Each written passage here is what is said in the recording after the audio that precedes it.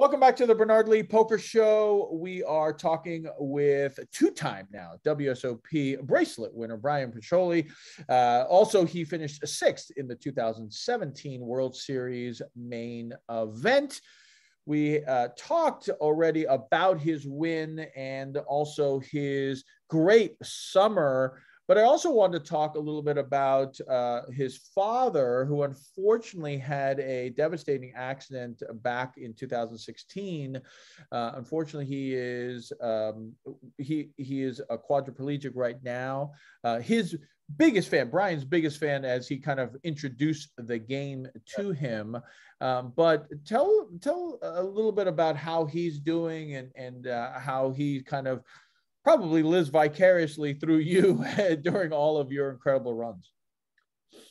Yeah, so his accident was in August of 2016. It was shortly after I I had a run in the main event, like a few weeks, literally like two weeks before that. Um, right. In 2016, I was I was chip leader going into day five that year. With like there were like 250 left. Um, day six was real rough ended up or sorry day five ended up busting at the end of the night in like 80th place you know? So to go f- from chip leader to just not even making the next day at that stage was real devastating and you know i went you know i just wanted to see my family right after that. I went home you know saw saw them for a few weeks and you know my dad's always been you know bry just keep plugging away he says just keep plugging away. So you know i was real down for legit like weeks up you mm-hmm. know? And so but my wife and I had this Europe trip planned. And so we went over to Europe. We were going to hop over from like Copenhagen to Sweden to Greece and, you know, do, do a bunch of stops. And we were on the second part of our trip in Copenhagen and, uh, got a call in the middle of the night that you never want to get. It was my mom. She, she couldn't even really form words to be hmm. honest. Mm. And they, they didn't really know. It was such a freak accident. Like, you know, you can try and replay it a million times in your head. You know, it's not going to change the situation, but it's, yeah, he was, we have two dogs and he was just kind of taking them out the front door and, you know, he'd leashed them up and I guess their leashes kind of like got wrapped around like his ankles. And then one of them got startled by like, I don't know if a truck was driving by or whatever.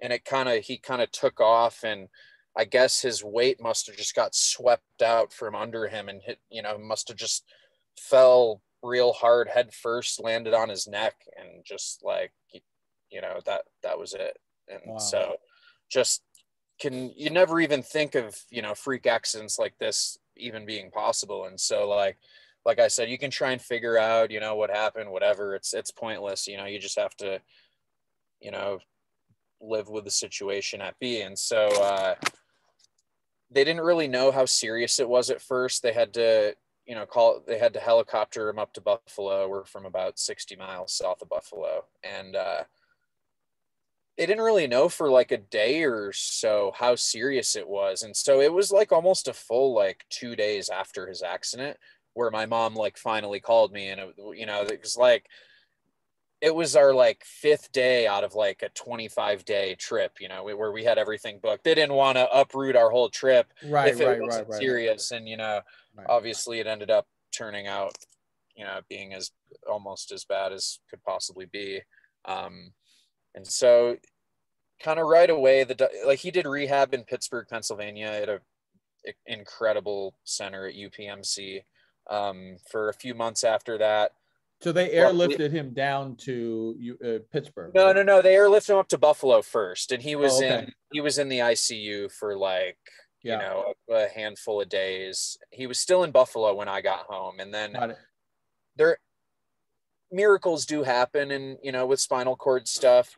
Some right, guys right. in his situation, you know, have regained some movement and so they really try and those first few months after the accident are vital you know they really try and get the body trying to you know get back to its old tricks you know per se and right, you know right. learning these things that it used to know so well but it was kind of they were the doctors were pretty you know straight up with us the, they were like it's like you know very very small chances of him really ever improving his condition so yeah, he's he's in bed, you know, pr- most pretty much all day.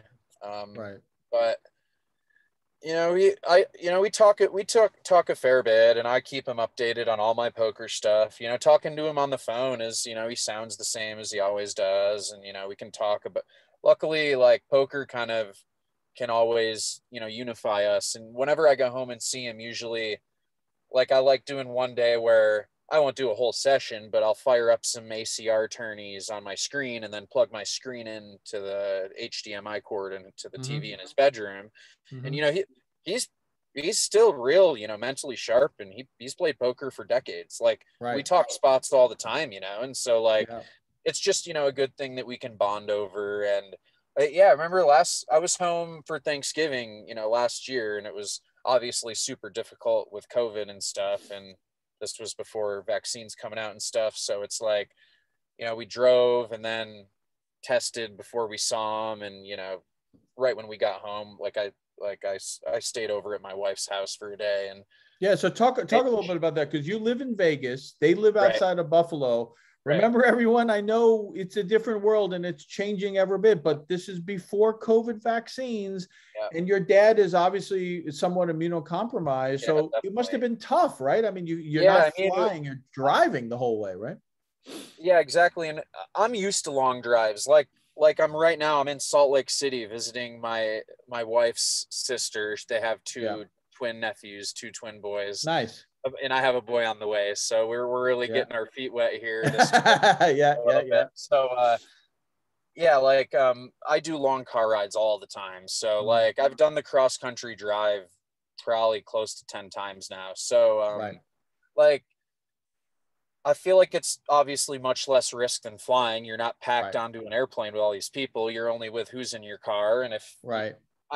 I have an electric car, so I, I just charge up. But it's like even if you have a gas car, you know, just if you sanitize your hands when you use the gas pump, you know, you wear a mask when you use the bathroom. I feel like it's like pretty low risk. But then, you know, just to be safe, my wife's family lives a mile from my my parents, so we kind of just quarantined there for the first night. Got a rapid test the next day, came back negative. So we're like, okay, That's good. know, Excellent. Yeah, right. dad. So yeah, we saw my parents over Thanksgiving and I had a, you know, a few times where I, I plugged my screen up and actually like, I think I final tabled both like a 215 and, and a 66 buy-in in the same session for like 8k and like 2k or something Right. randomly one day. And so that was, he was really into it that day. It was kind of, you know, good to, you know, it's just something to get him excited, you know? So, Right. Right. um, he's a big sports guy, so we talk a lot of sports and golf and stuff. Uh, uh, but um, yeah, it was. And- it's it's and cool he to just- got you he he got you into poker, right? correct. Uh, Yeah, yeah. right. It was always like growing up. He'd play. It was Sundays and Wednesdays. Him and his guy friends. They rented out a little one one bedroom apartment, and they just have a poker table in the living room, and that was just you know that was all they used the apartment for. And um, That's great. they take some they take some money out of the pot for you know drinks and you know pizza or whatever but there wasn't like you know rake or anything it was just you know Right, guys right, right. fun and Yeah. so uh i would you know it, i i always was waiting to get to that age where dad was Right. like oh you know you're you can you know come hang out with the guys Right, now." right, So, right, right. I think it was like I was like 13 maybe or 14 like the first time he let me you know come and Right. just kind of hang out and it was like a bunch of old guys smoking cigars and Right, you know watching right. football and playing cards and i was like Right.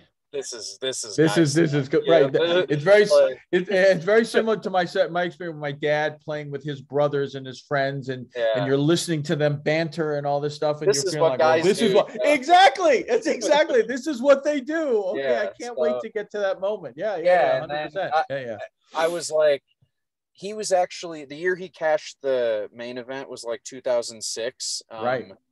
i was 17 or maybe 16 and he had put on $500 onto PokerStars to try and Uh-huh. satellite in yeah So he plays all the satellites. The summer goes by. He he still has like a few hundred bucks left in his account.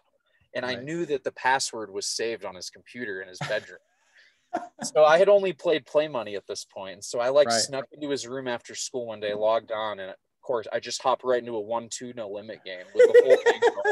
And end up getting pocket queens and like this was my first time ever getting pocket queens in my life. You know what I yeah, mean? Yeah, yeah, yeah, yeah. I went yeah. all in, and Yeah. brother got at aces, and I lost all all two hundred of dad's money. But I knew that you know the satellites were over for that summer, and I that was the only reason he deposited. So I like knew Right. that he wasn't really going to log back into the account for you know I thought it could be till the next you know next May or when you Right. know when he wanted Right. to play again. right. And so I was kind of like, you know, for the first week or two, I was real nervous, but then I was like, all right, you know, what it's it's over. You know, he Right.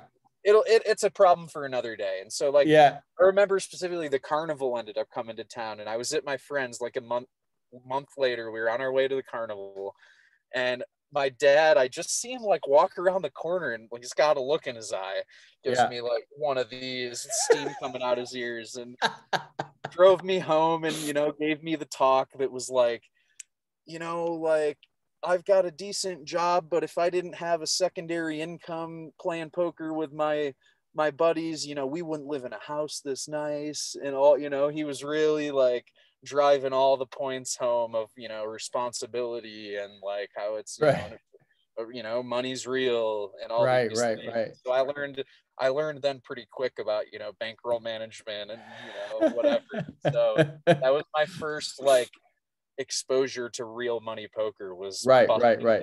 PokerStars account Busting. Then, then, then afterward, uh, when all of that done, then did he go? All right, what hand you lose on? yeah yeah. That's Yep, great. That's great. And, yeah, I and was like you said, he, I was exposed to it from an early age through him, and he didn't really like teach me the game. I kind of was like, I kind of just learned at the start through just trial and error and play money Right. online. And I was just like, oh, you know, these things work, these things don't, and so right, right, right, right. And as you said, he cashed in the 2006 World Series main event. Yeah. So uh, that was the year, obviously, Jamie Gold uh, took Biggest down uh, him and his him, his friend and him went out together. They like chopped a room. They both played. They sold action to all their home game buddies, and they busted within I think like five players of each other. Oh wow, Like, crazy! they finished like seven fifty seventh and like seven sixty first or something. wow, you know? that's nuts. and, and they busted out for 12 and a half K for the min cash. And I remember yeah, They, they would always tell the story like, you know, buy-in's 10K, you fly out there, you stay hotel. They're like, we lost money on the trip. right. and we cashed that's So, right. That's right. Yeah, I was yeah, yeah. always like, I remember like, "Man, poker stinks. You can go out there and you cash and you still lose money. Like, yeah, up yeah. with that? What You was know? What- what- like, I was like, Dad, what'd you waste the last week of your life for? You could have hanging out with me. yeah, yeah, yeah, yeah. So, you know, you talked a little bit about the COVID trip to see your dad, but what was COVID like for you just in general playing? Because obviously, p- poker is such an integral part. You are primarily a tournament player, you do Yep. so well in tournaments. Yep. Tournament world shut down for so long, especially after the uh, the shooting star and, and and a couple other events here and there. But once it shut down, what kind of happened to your world and how was Vegas? We've heard so many stories about Vegas of the strip being just literally empty, probably for the first and only time ever. What was it like during COVID? Um, yeah, it was I actually my wife and I went on a drive down the strip the one night, uh, where Yeah. it was like it was real late and we couldn't sleep and she's like, What do you think the the strip's like right now? I was like, Let's go for a spin. So Let's yeah, find out. there were like we saw like 10 cars the whole trip Amazing. up the strip. It was unbelievable. All like most of the lights were off. I literally, I remember, I literally saw tumbleweed blowing across Las Vegas Boulevard. Yeah, yeah, like, yeah. I tried to get my phone out, but it like Right. went behind a rock or whatever. But it was like something out of some dystopian like Mad Max Right. or something. Right. Like there was literally tumbleweed blowing across Yeah, an yeah, yeah. empty Las Vegas Boulevard. It was unbelievable. That's nuts. So uh, yeah, but luckily online games started, you know, boosting up at that point. So yeah, I was just kind of, you know, hunkered down with wife, grinding online. That was pretty much it. Yeah, yeah, yeah. And so, you know, with the, with the casinos, like you said, a lot of the lights are. Were there barriers up in front of a lot of these casinos Some- as well? Yeah, Bellagio. I remember Bellagio. They literally boarded the doors up because uh, I don't know if they were worried about because this was around the time of the protests starting too. So I think like they were worried about looters and like you know there was people were just, you know, rioting in pretty much every major U.S. city. So right.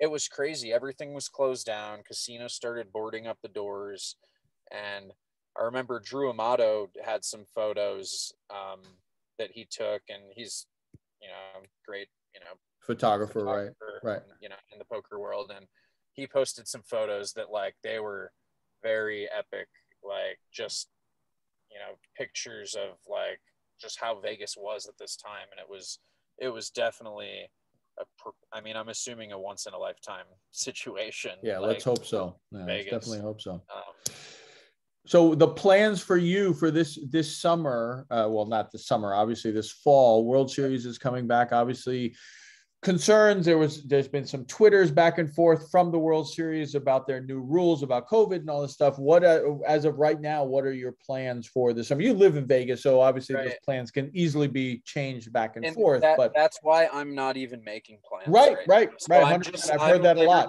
Taking it day by day, like yeah. it's like, and my wife is due in a few months too, so it's like.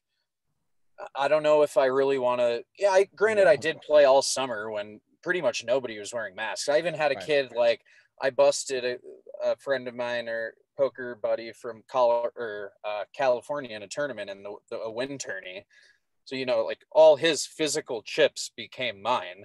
Right. And then he texts me the next day and is like, "Hey, bro, I just tested positive. I wanted oh. to let you know."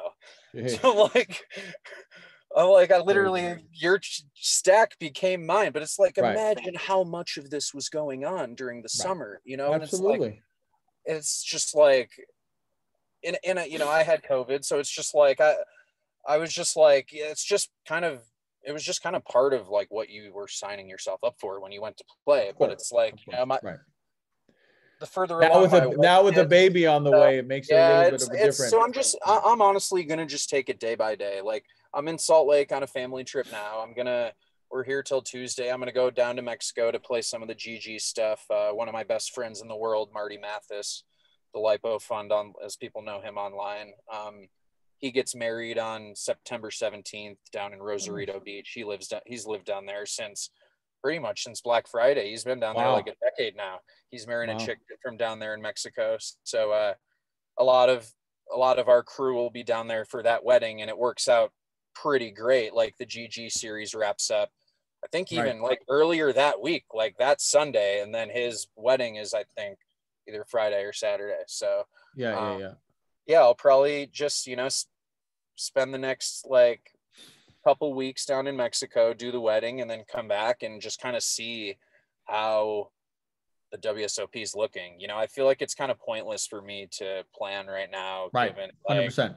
you just never know how numbers are going to go or how you know mandates or restrictions, all these things right. in this new world of ours that you have to deal with. And so I'm just kind of just going with the flow. Hopefully win win a bracelet on GG in Mexico and then not really have to care too much about it.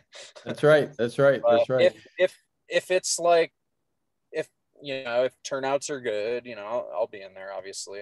Sure. I don't sure. I don't I, don't I don't like to miss events. well, congratulations uh, on on the baby. Uh, Thanks a lot. That's fantastic. Yeah, boy. Three, three months, uh, three months after, or sorry, three days after Thanksgiving, he's due November 28th. So a COVID baby uh, is on yeah. the way.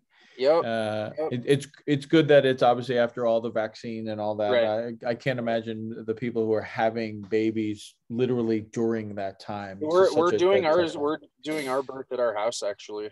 Oh yeah, wow. Yeah, with wow. the midwife yeah. and doula. Yeah, yeah. that's. Yeah, I mean, she's doing it. Yeah, they do it like it's right, right. You're what she's like what she's comfortable with. Want to do, yeah. Right, so, right, right, right, um, right. That's that's what we're doing. So wow. it'll it'll be nice to not have to worry about you know being in the hospital and being around tons of people. So yeah, very excited.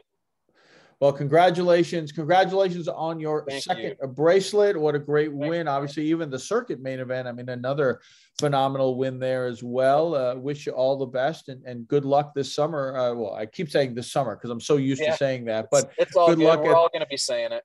right, and, and uh, you know, hopefully it, it will happen. And uh, I'm still a little undecided as or the trip is all planned, but still a little undecided on on my plans. Mine's a little bit different. Obviously, I have to make those plans because it's all the way across the country, but. Uh, we'll see how it is. Fortunately, the World Series, I'm sure, will always be there, uh, no matter what happens, whether we go or not. But uh, wish you all the best, buddy, and congrats again. Thanks, Bernard. Bryan Piccioli here, two-time WSOP bracelet winner now, and uh, really a great story uh, with his family and also the 2017 main event and, and winning his second bracelet against pretty much one of the toughest final tables we have ever heard of.